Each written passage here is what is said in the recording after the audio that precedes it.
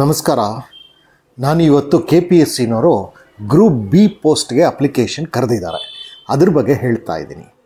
ಈ ಗ್ರೂ, group B post ಇದೆಯಲ್ಲ, ಅದು ಕರಿತಾ, ಕರೆದಿರುವಂಥ ಸಂಸ್ಥೆಗಳು ಯಾವುದ್ಯಾವುದು ಅಂತಂದರೆ, ಬೃಹತ್ ಬೆಂಗಳೂರು ಮಹಾನಗರ ಪಾಲಿಕೆ, ಜಲಸಂಪನ್ಮೂಲ ಇಲಾಖೆ, ಭೂಮಾಪನ ಕಂದಾಯ ವ್ಯವಸ್ಥೆ ಮತ್ತು ಭೂ ದಾಖಲೆಗಳ ಇಲಾಖೆ, ಹಿಂದುಳಿದ ವರ್ಗಗಳ ಕಲ್ಯಾಣ ಇಲಾಖೆ, ಕೈಗಾರಿಕಾ ಮತ್ತು ವಾಣಿಜ್ಯ ಇಲಾಖೆ ಜಲಸಂಪನ್ಮೂಲ ಇಲಾಖೆ, ಕಾರ್ಖಾನೆಗಳು, ಬಾಯ್ಲರ್ಗಳು ಹಾಗೂ ಕೈಗಾರಿಕಾ ಸುರಕ್ಷತೆ ಮತ್ತು ಸ್ವಾಸ್ಥ್ಯ ಇಲಾಖೆ ಮತ್ತು ಕಡೆಯದಾಗಿ ಅಂತರ್ಜ ಅಂತರ್ಜಾಲ ಅಂತರ್ಜಲ ನಿರ್ದೇಶನಾಲಯ. ಈ ಸಂಸ್ಥೆನವರು ಹಲವು ಪೋಸ್ಟ್ಗಳನ್ನು ಕೇಳಿದ್ದಾರೆ ಅವರಲ್ಲಿ ಅಷ್ಟು ವೇಕೆಂಟ್ ಇದೆ, ಅದನ್ನು ಫಿಲಪ್ ಮಾಡಲಿಕ್ಕೋಸ್ಕರ.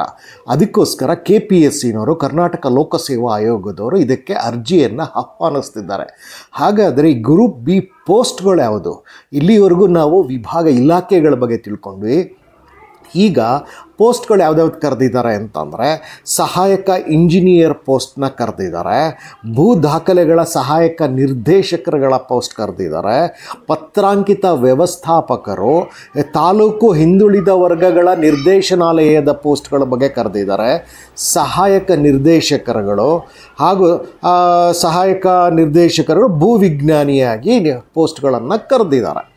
ಇಲ್ಲಿ ಕರೆದಿರೋ ಅಂಥದ್ದು ಇವರು ಕರ್ನಾಟಕಕ್ಕೆ ಕರೆದಿದ್ದಾರೆ ಹಾಗೂ ಕರ್ನಾಟಕದಲ್ಲಿ ಕಲ್ಯಾಣ ಕರ್ನಾಟಕವನ್ನು ಹೊರತುಪಡಿಸಿದಂತೆ ಕರೆದಿದ್ದಾರೆ. ಕಲ್ಯಾಣ ಕರ್ನಾಟಕಕ್ಕೂ ಸಪ್ರೇಟಾಗಿ ಕರೆದಿದ್ದಾರೆ. ಸೊ ಕ, ಇಲ್ಲಿ ಕರ್ನಾಟಕ, ಕಲ್ಯಾಣ ಕರ್ನಾಟಕವನ್ನು ಹೊರತುಪಡಿಸಿದೆ. ಕಲ್ಯಾಣ ಕರ್ನಾಟಕ ಯಾವುದು ಅಂತಂದರೆ ಹಿಂದೆ ಇದನ್ನು ಹೈದರಾಬಾದ್ ಕರ್ನಾಟಕ ಅಂತ ಕರೀತಿದ್ರು. ಆದರೆ ಎರಡು ಸಾವಿರದ ಹತ್ತೊಂಬತ್ತರಿಂದ ಅದನ್ನು ಕಲ್ಯಾಣ ಕರ್ನಾಟಕ ಅಂತ ಕರೀತಾರೆ. ಅಲ್ಲೊಂದು ಏಳು ಜಿಲ್ಲೆಗಳು ಬರುತ್ತೆ. ಈ ಏಳು ಜಿಲ್ಲೆಗಳಿಗೆ ಸಪ್ರೇಟಾಗಿ ಅಲ್ಲಿ ಒಂದು ಅಡ್ವರ್ಟೈಸ್ಮೆಂಟ್ ಬರುತ್ತೆ ಸರ್ಕಾರದ್ದು. ಇದೇ ಪೋಸ್ಟ್ಗಳು ಅಲ್ಲೂ ಇರುತ್ತೆ, ಆದರೆ ಅದನ್ನು ಸಪ್ರೇಟಾಗೆ ತಗೊಳ್ತಾ ಇದ್ದಾರೆ ಕಲ್ಯಾಣ ಕರ್ನಾಟಕದ್ದು. ಮತ್ತು ಅದು ಅದನ್ನು ಹೊರತುಪಡಿಸಿದಂತೆ ಕರ್ನಾಟಕದಲ್ಲಿ ಏನಿದೆ ಅದನ್ನು ಅಡ್ವರ್ಟೈಸ್ಮೆಂಟ್ ಕೊಟ್ಟಿದ್ದಾರೆ. ಎರಡು ಅಡ್ವರ್ಟೈಸ್ಮೆಂಟ್ಸ್ ಇದೆ ನಿಮಗೆ. ನೀವು ಯಾವುದಕ್ಕೆ ಎಲಿಜಿಬಲ್ ಇರ್ತೀರಿ ಅಂತ ತಿಳ್ಕೊಂಡು ಆ ಅಡ್ವರ್ಟೈಸ್ಮೆಂಟ್ಸ್ನ ನೋಡ್ಕೊಳ್ಬೇಕಾಗತ್ತೆ. ಎಷ್ಟೋ ಬಾರಿ ಏನಾಗುತ್ತೆ, ಈ ಎರಡೂ ಕಡೆಯೂ ಎಲ್ಲ ಸಂಸ್ಥೆನವರು ಎರಡೂ ಕಡೆ ಇದ್ದು ಎಲ್ಲರೂ ಕರೆದಿರೋ ಅಂಥದ್ದು ಇರುತ್ತೆ ಆದರೆ ಕೆಲವೊಮ್ಮೆ ಇಲ್ಲಿ ಹೆಚ್ಚು ಸಂಸ್ಥೆನವ್ರು ಕರೆದಿರ್ತಾರೆ, ಅಲ್ಲೇ ಕಡಿಮೆ ಸಂಸ್ಥೆನವ್ರು ಕರೆದಿರ್ತಾರೆ. ಅಥವಾ ಇನ್ನೂ ಒಂದಾಗಿರುತ್ತೆ ಸಂಖ್ಯಾ ದೃಷ್ಟಿಯಿಂದಲೂ ಎಷ್ಟು ಪೋಸ್ಟ್ಗಳಿದೆ, ಪೋಸ್ಟ್ಗಳ ಸಂಖ್ಯೆಯಲ್ಲೂ ಕೂಡ ವ್ಯತ್ಯಾಸಗಳಿರುತ್ತೆ. ಹಾಗಾಗಿ ನಾನು ಇದನ್ನು ಹೇಳ್ತಿದ್ದೀನಿ, ಯಾರು ಇದಕ್ಕೆ ಎಲಿಜಿಬಲ್ ಇದ್ದೀರಿ, ಎರಡರ ಅಡ್ವರ್ಟೈಸ್ಮೆಂಟ್ನು ಸಪ್ರೇಟಾಗಿ ನೋಡ್ಕೊಳ್ಳಿ, ಯಾವುದಕ್ಕೆ ಎಲಿಜಿಬಲ್ ಇದೆ ಅಂತ. ಇದು ಮೊದಲನೇದಾಗಿ. ಇನ್ನು ಎರಡನೇದಾಗಿ ನೋಡಬೇಕಾಗಿರೋದು ಎಜುಕೇಷನ್ ಕ್ವಾಲಿಫಿಕೇಷನ್. ಯಾರ್ಯಾರು ಇದಕ್ಕೆ ಎಲಿಜಿಬಲ್ಲು ಅಂತ ಹೇಳಿ. ಮೊದಲನೇದಾಗಿ ಅವ್ರು ಕೇಳಿರೋ ಅಂಥದ್ದು ಎಜು, ಇದ್ರ ಎಜುಕೇಷನಲ್ಲಿ ನಿಮಗೆ ಡಿಗ್ರಿ ಸ್ಟೂಡೆಂಟ್ಸ್ಗಳನ್ನು ಕೇಳಿದ್ದಾರೆ.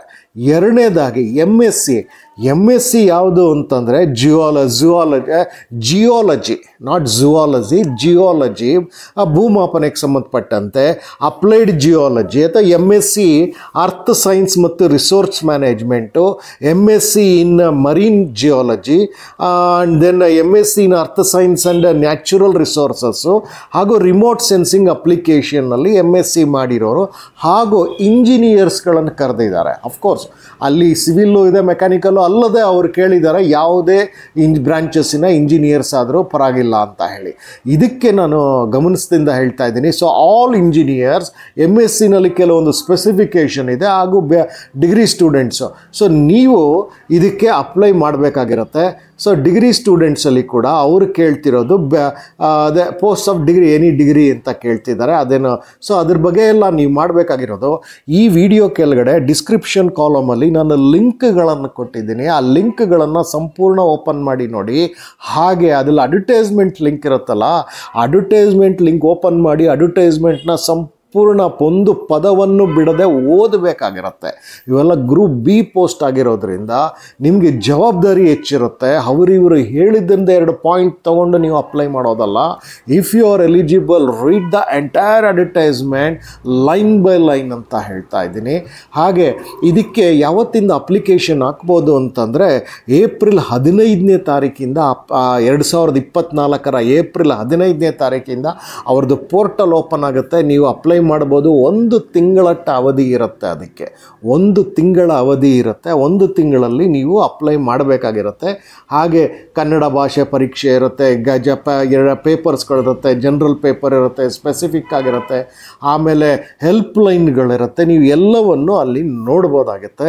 ಅದನ್ನು ನೋಡಲೇಬೇಕು, ತಿಳ್ಕೊಳ್ಬೇಕು, ಅರ್ಥ ಮಾಡ್ಕೊಳ್ಬೇಕು. Then if you are eligible ಜೊತೆಗೆ ಇದು ನಲವತ್ತ್ಮೂರು ಸಾವಿರಕ್ಕೂ ಸಾವಿರ, ಸಾವಿರದ ನೂರ ಏನೋ ಬೇಸಿಕ್ ಸ್ಟಾರ್ಟ್ ಆಗುತ್ತೆ. ಇದಕ್ಕೆ.